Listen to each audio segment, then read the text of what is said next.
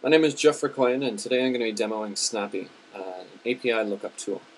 So basically what snaapi allows you to do is, from this search box, you can search any number of the, any one of these languages all at the same time.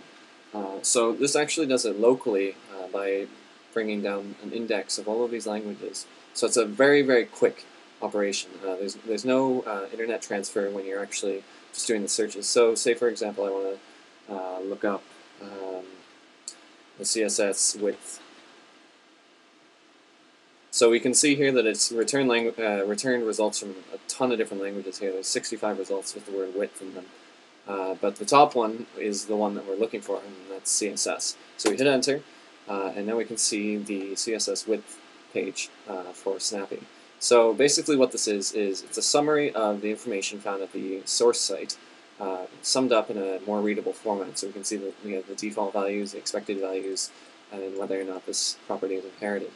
Uh, and we also have a snippet here, which is uh, basically this particular example is a link to a website that uh, shows a gotcha for uh, the, using the width property in Internet Explorer.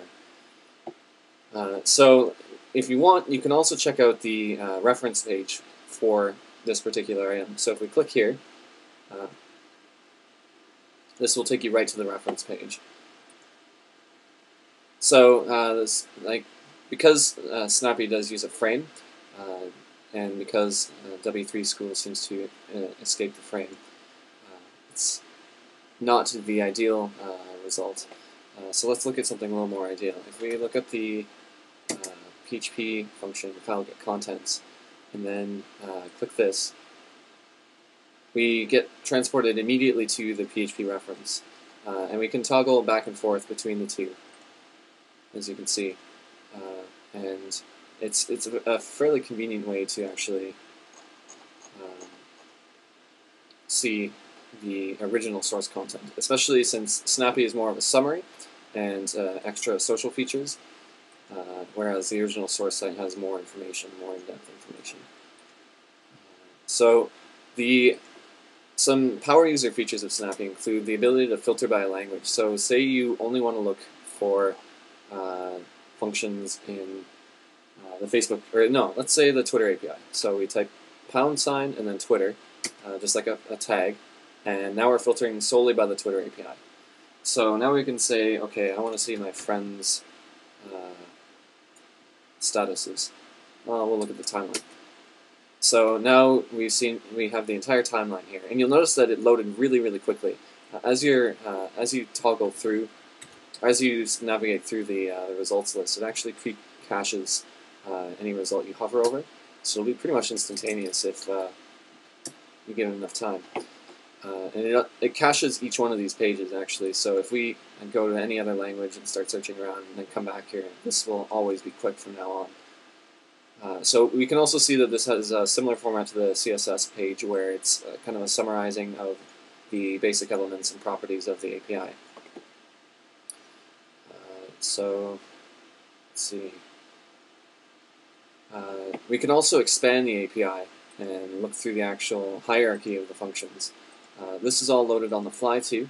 Uh, whenever you expand one of these boxes, it actually requests it from the server. So it allows the snaapi uh, main page to load really, really quickly and then only grab information that's necessary. So we'll close this up.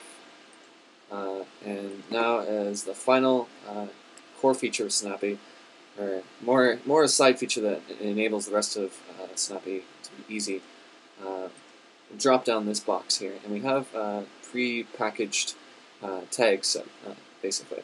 So say we want to work um, with jQuery. So that would be JavaScript, CSS, jQuery, and maybe Firebug. Uh, now, now you, as you can see, we're navigating purely in just uh, these four languages and APIs. Uh, so it's a, it's a really convenient way to just uh, toggle between the languages that are already uh, supported by snaapi. So yeah, this is a, a demo of the snaapi website. Uh, you can go there at snaapi.com.